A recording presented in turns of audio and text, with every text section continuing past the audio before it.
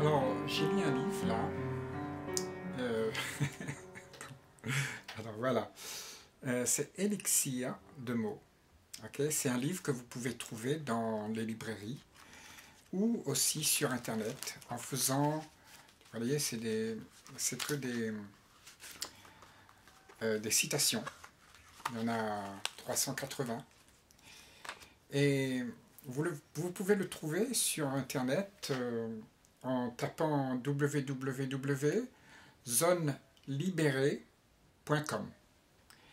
Et c'est le livre que j'ai fait, euh, où j'ai réuni en fait tous les, grands aspects de, de ce que je prône en fait dans tous mes livres et dans toutes euh, mes réflexions. Et je voulais vous parler d'une des réflexions que j'ai faites ça dit, je le lis, le sublime, le paradis ou le nirvana. Le sublime, le paradis ou le nirvana sont les issues d'un désir ultime. L'homme les a créés pour se réconforter de sa vie chaotique et confuse. Voilà.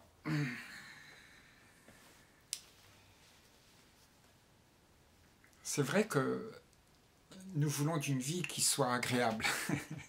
Tous. Nous ne voulons pas vivre le chaos dans lequel nous sommes, la confusion dans laquelle nous sommes, et toute l'ignorance dans laquelle nous, nous cogitons. Et toute cette activité fait justement de nous des hommes en quête de bonheur. Et ce bonheur, il est pris à partie par ce que l'imagination euh, fait pour nous donner euh, quelque chose qui soit pacifiable à l'angoisse de ne pas être euh, dans la beauté, dans la joie, dans l'instant où tout se, meut avec harmonie. Donc, nous sommes tous dans cette confusion où chacun va mettre du sien pour pouvoir euh, se créer un petit monde euh, qui lui soit agréable, pour ne pas euh, subir justement toute la, la, mélancolie, le, désespoir que nous avons en nous, dans nos quotidiens qui se ressemblent en fait. Et nous voulons donc imaginer quelque chose. Et cette imagination, cause défaut. Parce que, en fait, ce n'est pas qu'il ne faut pas imaginer, mais l'imagination euh, prend la place de la réalité. La réalité, elle est scalée. Peut-être qu'on ne, la voit pas. Peut-être que c'est justement euh, quelque chose qu'on veut fuir. Mais quand on veut la fuir, on imagine quelque chose d'autre qui existerait à la place de ce que nous avons. Donc, la pensée imagine un monde extraordinaire, un monde qui dépasse tout le, connu, qui dépasse notre, vie quotidienne, et nous explique qu'il y a là quelque chose à atteindre. Et donc, nous sommes en quête euh, de ce que la pensée propose, en fait. Mais il n'y a pas de réalité.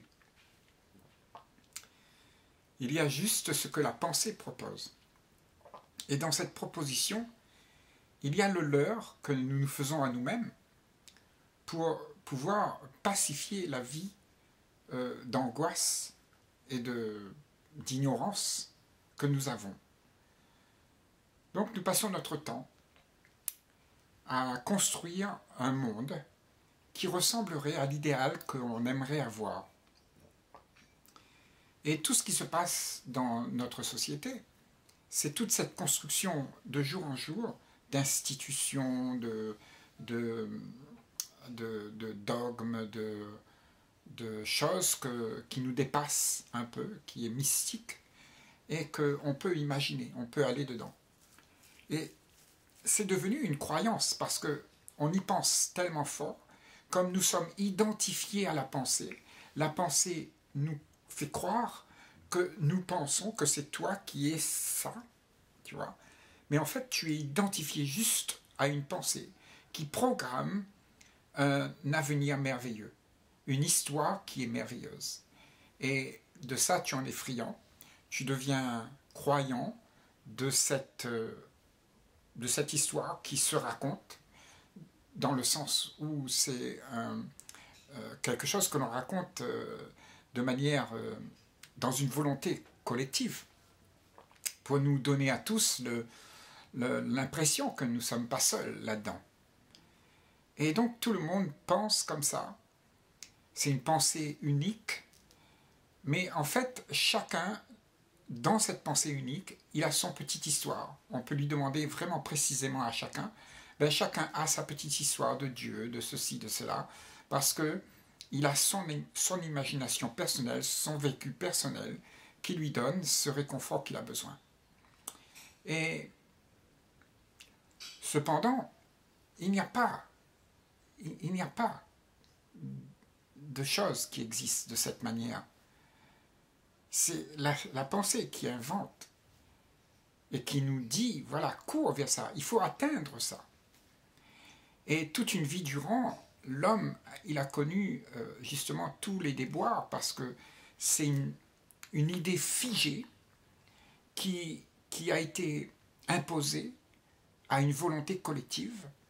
Et cette volonté collective-là, eh ben, se, se rivalise en fait pour savoir quelle idée est la mieux. Dans la volonté collective, il y a toute cette imagination. L'imagination, que ce soit bouddhiste, que ce soit chrétien, que ce soit... Euh, toutes ces imaginations-là sont allées bon train. Bien que ce soit marqué dans une, euh, tradition ancestrale, euh, que c'est comme ça, comme ça, comme ça, comme ça, eh bien la pensée donne bon train à tout ça et nous imaginons un paradis, quelque chose, un nirvana qui nous soit réconfortant. Et voilà que quand nous faisons ça, eh bien nous créons en fait la rivalité des idées, la rivalité des imaginations. Et personne n'arrive à se mettre d'accord. Et de toute l'histoire de la race humaine, il n'y a eu que des guerres entre ceux qui pensent comme ça et l'autre qui pense comme si. Et ça fait que nous sommes dans une continuité de rivalité et où on ne se rencontre jamais. Et pour se rencontrer, peut-être, peut-être, faudrait-il qu'on abandonne toute chose imaginée, toute conclusion qui a été faite sur ce qui existe. Et là, on saura peut-être se demander à soi-même et d'explorer pour soi-même si une telle chose existe vraiment. Parce que l'imagination te fait croire que ces choses sont réelles. Et tout le monde qui qui s'est posé, qui s'est arrêté, qui a été rationnel et qui se sont arrêtés pour, pour se poser la question, ils ont cru que soit il n'y en avait pas, soit il y en avait.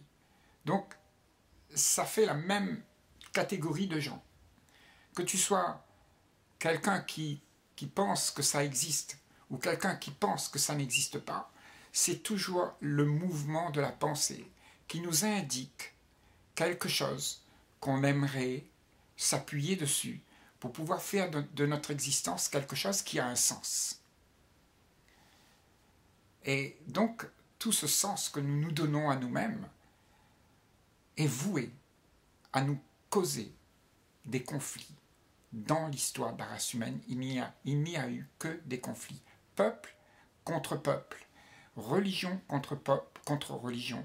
Et on a été toujours accablé de toute cette activité de guerre et de gens mécontents de ce que, parce que l'autre n'adhère pas à son idéal, à son imagination, à ce qu'il prône, à ce qu'il pense, à ce qui est écrit, à ce qui est dit, et qui est répété, répété, répété depuis des, siècles et des siècles. Nous le répétons sans même savoir si c'est vrai. Nous le répétons parce que ça nous réconforte. Ça nous réconforte de nous dire que ça, c'est quelque chose que j'aimerais bien. Mais tu ne sais pas. Tu aimerais bien que ça existe, mais tu ne sais pas. Il faut que tu abandonnes l'idée pour voir si ça existe. Et ça, c'est la chose la plus dure. Parce que ça veut dire qu'il faut que tu viennes dans une discussion comme celle-là, vide de toute conclusion, de toute croyance, de toute idée, et commencer à zéro. Et voir comment nous, les êtres humains, nous sommes, qui nous sommes, et pourquoi nous avons toutes des, idées, pourquoi nous nous faisons des, films sur la comète. nous voulons que quelque chose existe. Mais personne ne sait. Ça ne veut pas dire que le sublime n'existe pas. Ça ne veut pas dire que il y a quelque chose au-delà de tout ce que tu es. Ça veut tout simplement dire que c'est quelque chose que tu ne peux pas imaginer, que tu ne peux que vivre. Et en le vivant, tu sais. Et quand tu sais, il n'y a plus rien à prouver à personne. Il n'y a plus de bataille d'idées, puisque tu sais, puisque tu, es OK. Tu n'as pas besoin de prouver. C'est seulement celui qui ne sait pas qui veut prouver, qui veut imposer, parce qu'il a peur de perdre tout la, le rêve qu'il a derrière tout ça.